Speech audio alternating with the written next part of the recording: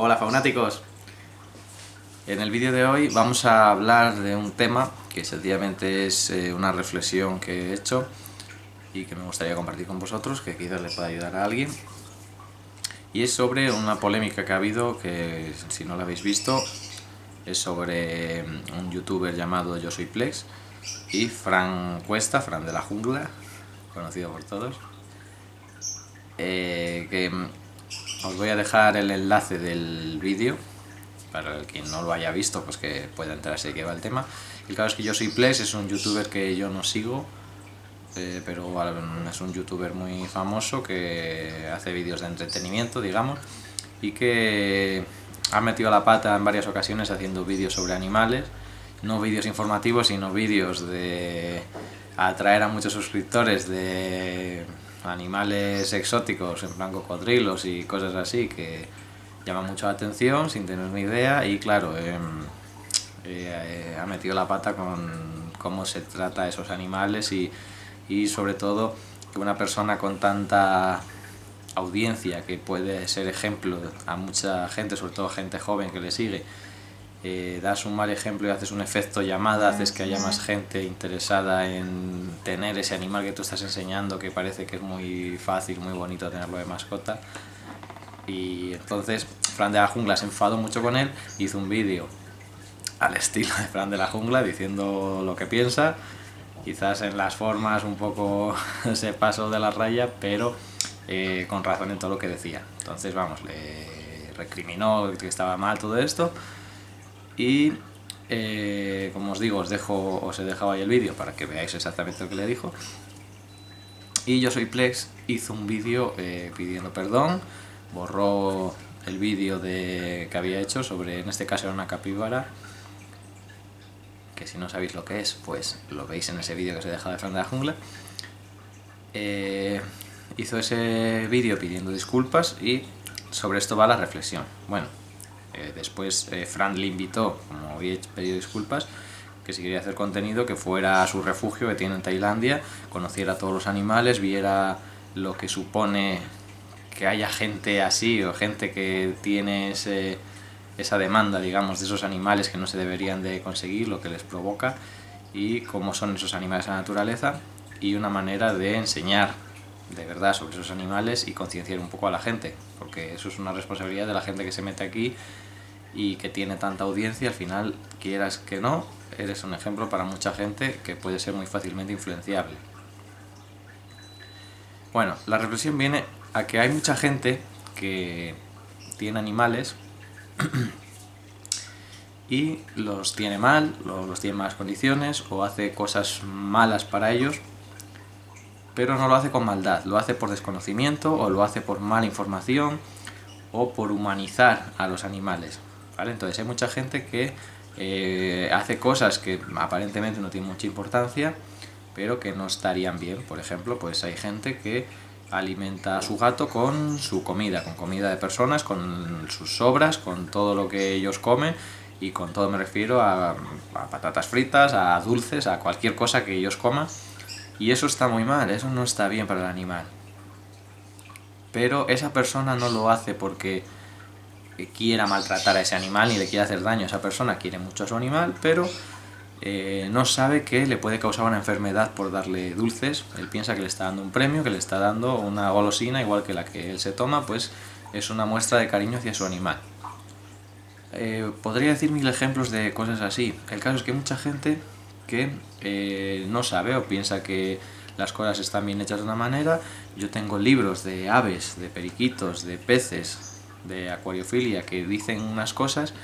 que en aquel momento pues era lo que se sabía, era lo que tú aprendías porque solo tenías acceso a esos libros o a lo que te contaste en la tienda de animales y que los, los he vuelto a leer ahora y ha cambiado mucho la información que tenemos ahora y dices, pero si es que esto que dicen en este libro está muy mal, eh, incluso dices, vaya cosas que hacía yo eh, cuando era más pequeño, con que peces mezclaba en el acuario. Hay muchas cosas, por ejemplo, hablan mucho del recorte de las alas de los pájaros. Son cosas que ahora mismo tenemos más información y también más facilidad para acceder a la información, lo cual a veces es malo porque podemos acceder también a más información más fácilmente, pero bueno, tenemos la posibilidad de contrastar mucha información para hacernos una idea nosotros de lo que queremos saber. Y hay mucha gente, como os digo, que hace cosas mal, no porque sea mala persona o porque quiera maltratar a un animal, ni mucho menos, pero comete errores, ¿vale? Entonces, hay mucha gente, lo veo sobre todo en grupos de Facebook, ¿vale? Que es una red social que se ha vuelto muy tóxica, sobre todo para eso. Entonces, este es un mensaje para todas las personas que pedís consejo redes sociales, por ejemplo, y también la gente que opináis o contestáis a esta gente que pide consejo sobre ciertas cosas.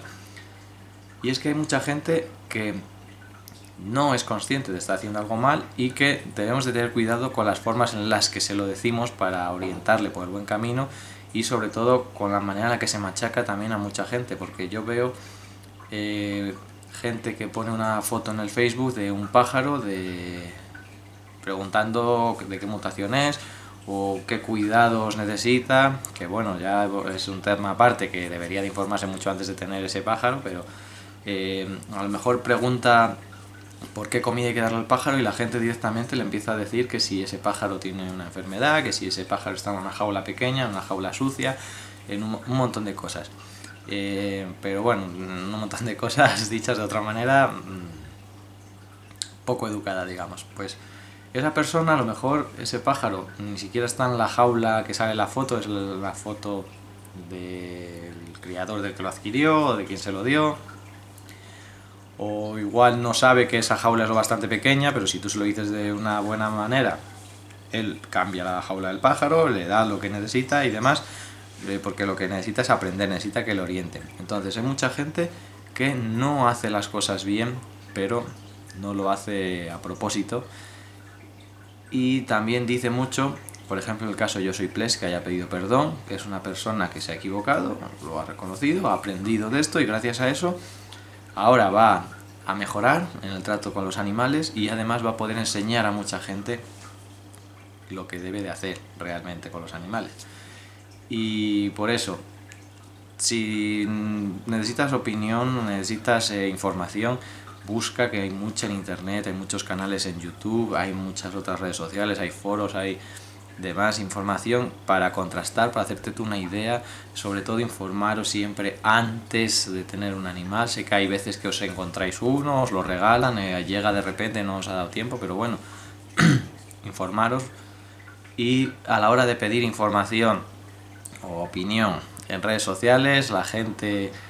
en general es muy buena gente, pero también sabéis que al contrario eh, es muy fácil opinar detrás de una pantalla en la que nadie te ve, no dices las cosas realmente a la cara.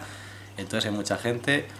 que no lo va a hacer de manera correcta, tampoco os vengáis abajo, no dejéis que os machaquen por haber cometido un error, siempre y cuando sea eso un error, que sea algo que no os habéis dado cuenta y estáis dispuestos a solucionar a la hora de tratar bien a un animal.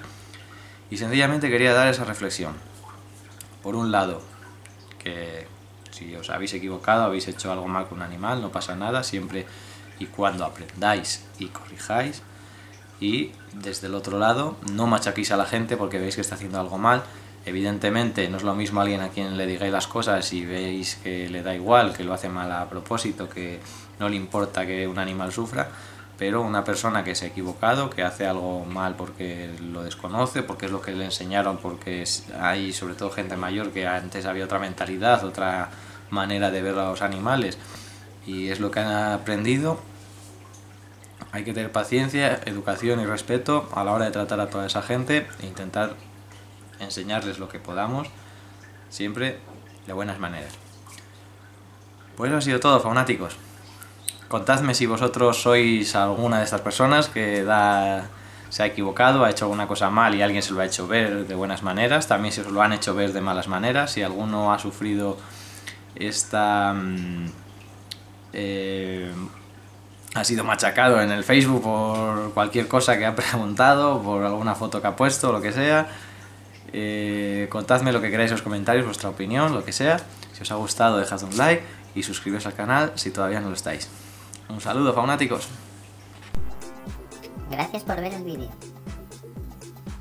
Ayúdanos dándole al botón de suscribirte